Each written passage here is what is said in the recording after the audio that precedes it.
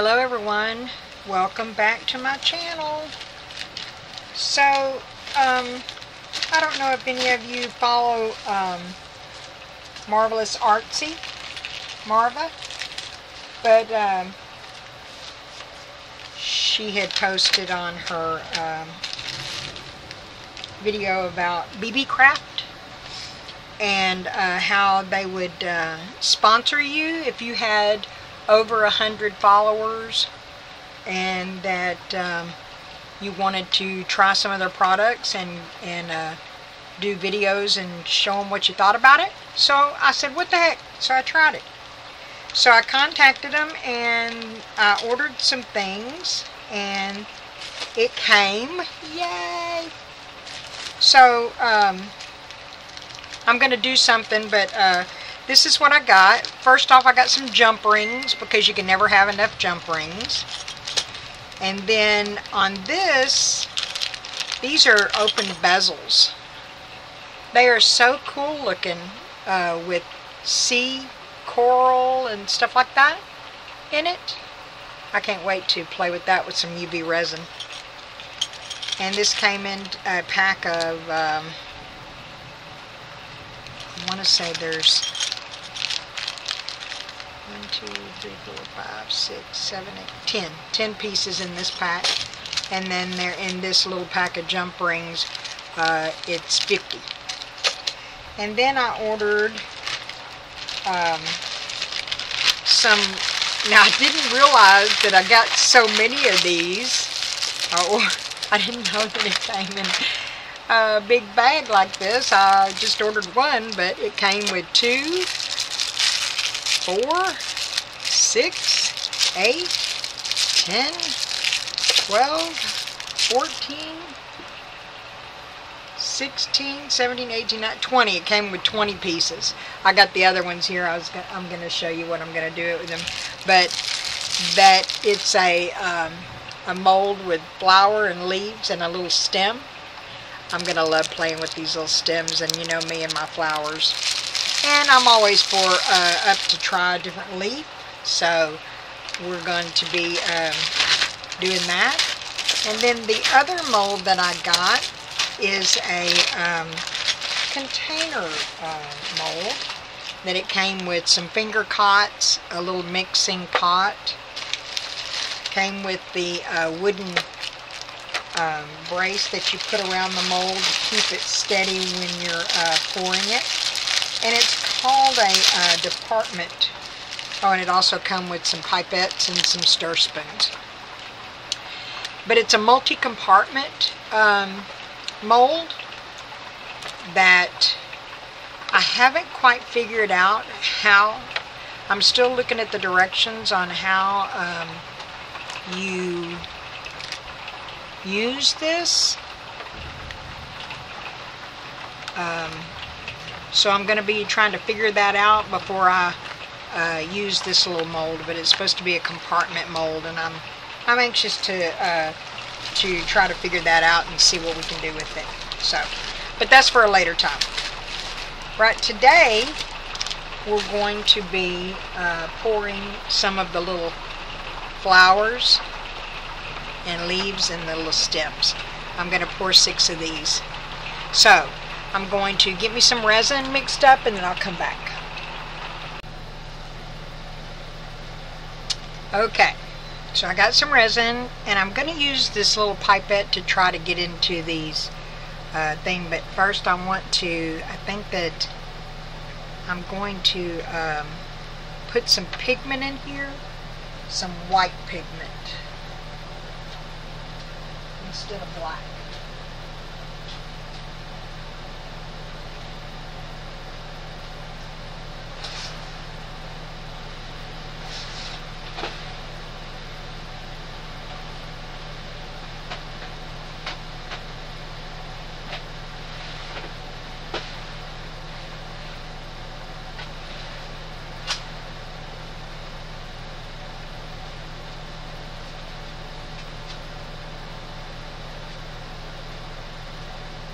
I'm sorry about that, guys. I didn't have it with me. So I'm going to be using this um, pearl white powder. I believe I got this at Hobby Lobby.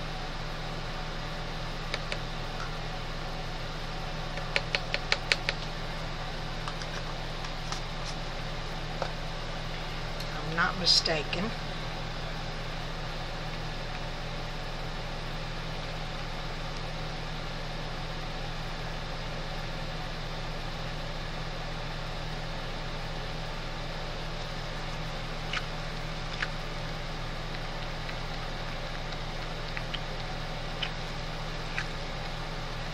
It's really pretty. It's got a pearlescent. It doesn't matter if it's pearlescent or not. It's not going to be showing in there anyway. But I may have some left over, it looks like, so I might make a little bird or something. So I'm going to use this pipette.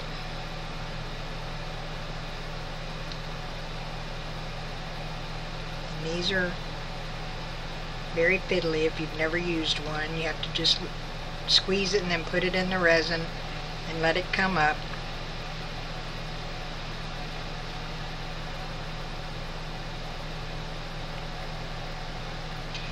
And then I'm going to use it to put it in here.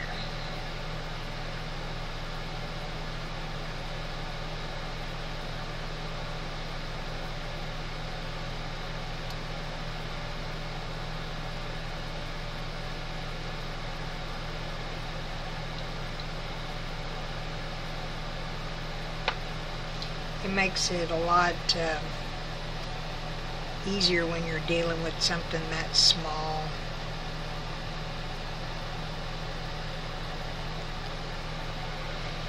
to get it in the, the little creases of it instead of pouring it in there and risking run overflowing it to the next one. But it is a slow process.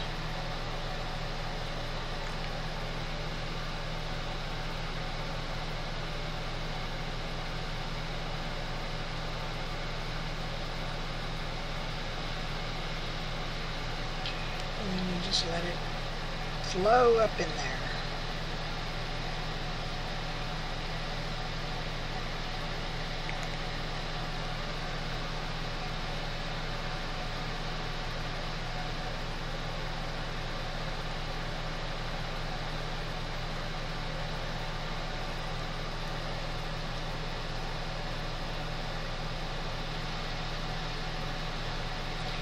And when I get through getting this in there, I will take a dotting tool and make sure I don't have any bubbles in there.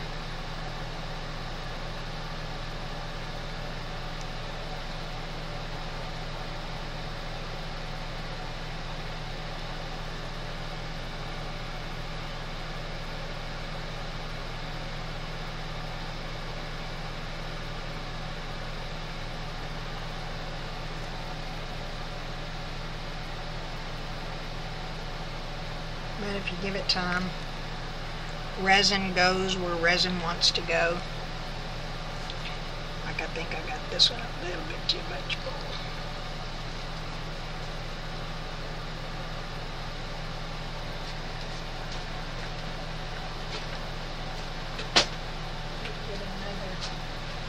baby wipe and take my dotting tool and make sure I don't have any bubbles in there.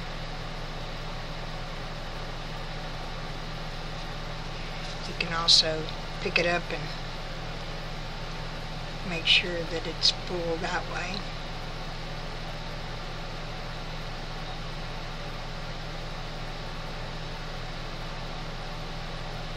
Oh, I'm sorry, I didn't know I had it off camera.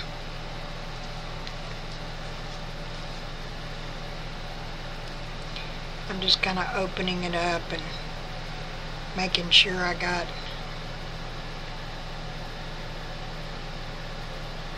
enough to fill up that and just opening it up and letting the resin run into it. I don't mind if it has a little bit of overflow on that one.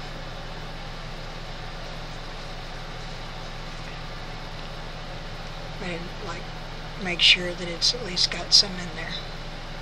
That way, you make sure you got a, at least your stick will, your little branch will be something that you can call a branch.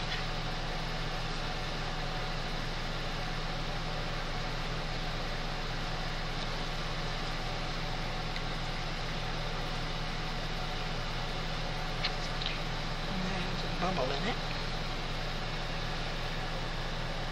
And that allows you to get those bubbles out.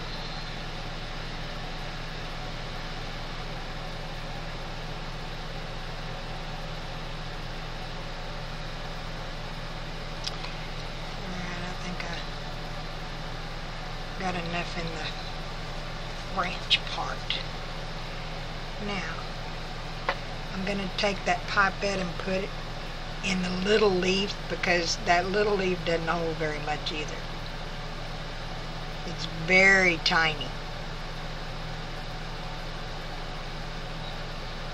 And all I did was paint these with uh, beaver dust mica powders. Green for the leaves blue green for these blue flowers and pink for the other flowers here and brown for the stem.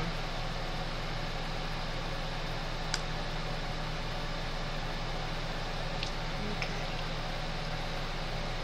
Yeah, I'm going to have quite a bit of resin left. Only mixed up 60 milliliters. but I'm used to bigger pours. I'm not used to these little fiddly things like this.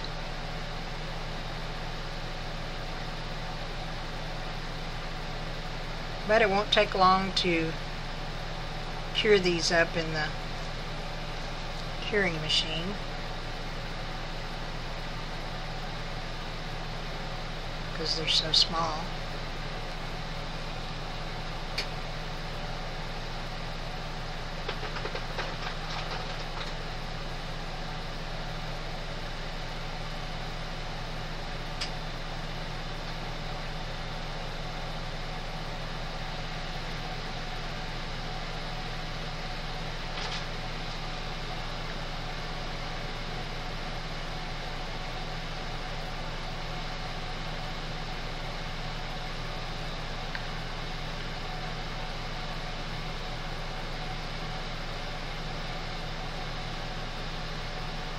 It's a little fiddly, but I think they're going to be very cute. And I think that they'll really, really be pretty on some glass. Y'all know me and my flowers on glass. Or if you're a member of my Facebook page, Awesome Incidentals, you see me post a lot of uh, art that I do on glass. Okay. So we're good with that. I don't mind the overpour. I can trim it off later. So we'll uh, let that be that, and then we'll uh, we'll go from there as far as the uh, process goes, and we'll uh, be back when it's cured. Okay, I think they're ready. I had a little extra, and I made a little skull.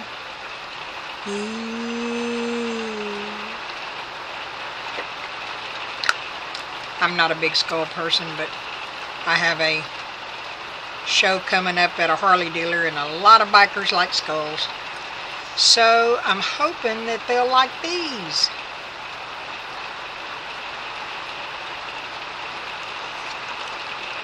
And I make these little birds because I give them as gifts for every purchase that the people make.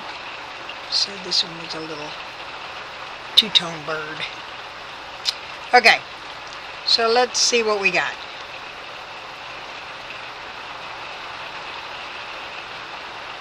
This one I started to pull out. Have a little trimming to do.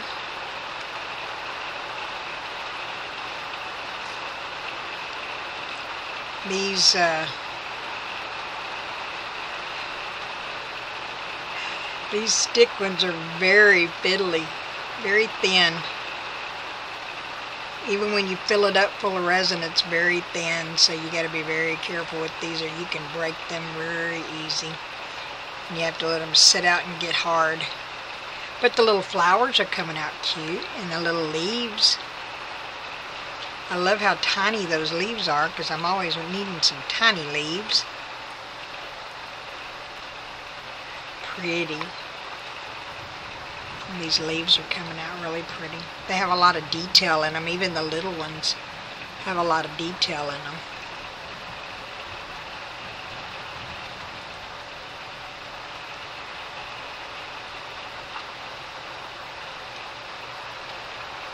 But you just have to have the leave those uh, branches get them out of the mold at least and then let them uh, sit and get hard because they are just so thin.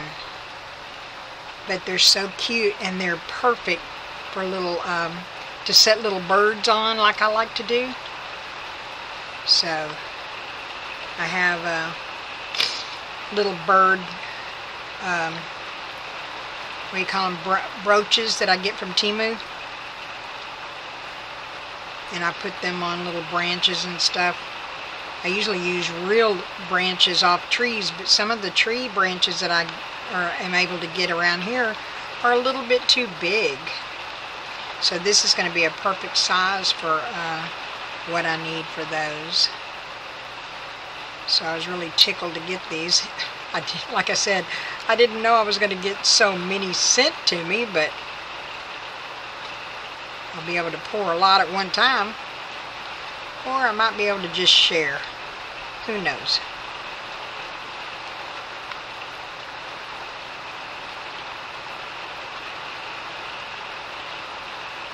Alright. And I poured extra, uh, these are little, I call them little pocket turtles. They're so tiny. I mean, they're just so, so tiny.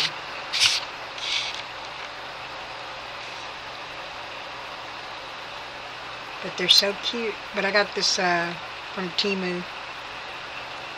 This little, so I give them as little pocket hugs. Alright, so there you go. Now, uh, like I said, I got these from Beebeecraft.